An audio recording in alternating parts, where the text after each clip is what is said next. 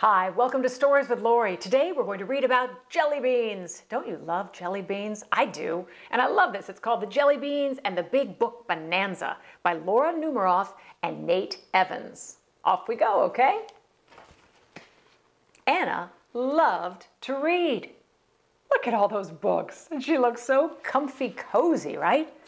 Good reading nook. She read while grocery shopping with her dad.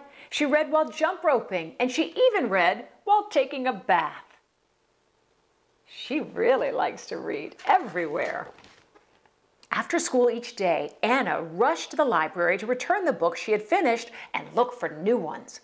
There was nothing more exciting than finding a good book. Love it. After the library, Anna met her best friends, Emily, Nicole, and Bitsy. Emily loved to dance. Nicole loved to play soccer. And Bitsy, well, she loved to paint.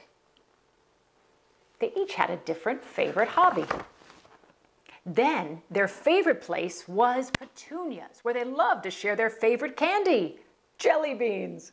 Just as jelly beans are different flavors but go well together, the girls were all different, but they got along great. And so they called themselves, what do you think?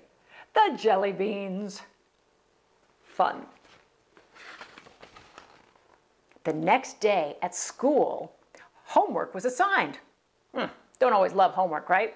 They had to go to the library, read a book about something they loved, and write a report on it. The class was going to have a book bonanza.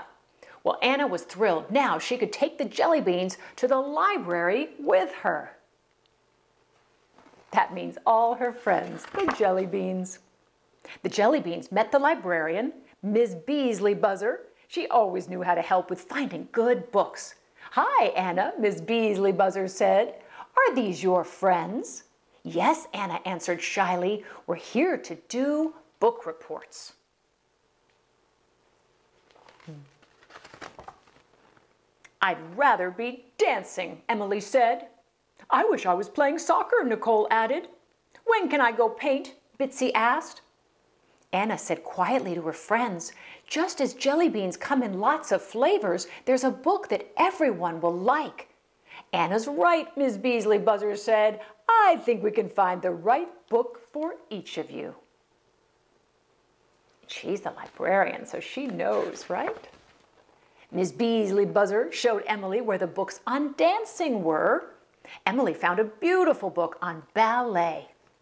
Then Miss Beasley Buzzer helped Nicole find a book all about soccer. And then, next up, Bitsy found a book about famous painters. Of course, right? There are books about everything. The girls sat down to read and they were so excited to find the perfect books. But Anna, uh-oh, she still needed to find one. Follow me, Anna, Miss Beasley Buzzer said. I have a brand new book that might be just right.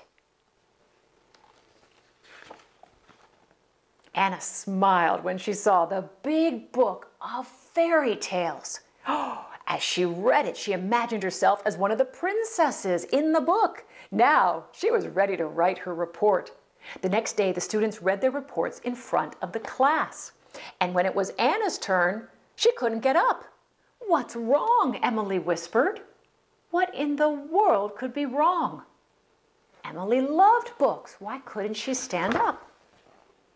I read by myself every day, Anna whispered, but I'm scared to read aloud in front of the class. We'll help you, Nicole said. It'll be great, Bitsy added. I know you can do it, Emily said. The jelly beans went up in front of the class and held hands. Anna started to read very slowly. Reading is the most magical thing in the world, Anna said quietly. That's why I chose this book on fairy tales. She still couldn't look up at the class. Keep going, the jelly beans said. And they encouraged her so much. I love to read because I can go anywhere or be anything in a book, Anna said with excitement. Like a ballerina, or a soccer star, or a famous artist, or even a fairy tale reading princess. and her voice started getting stronger. The class applauded, and the girls gave Anna a big, big hug. That was a great report, Nicole said. I never knew reading could be so much fun, Bitsy added. I was so nervous, said Anna. I couldn't have done it without you.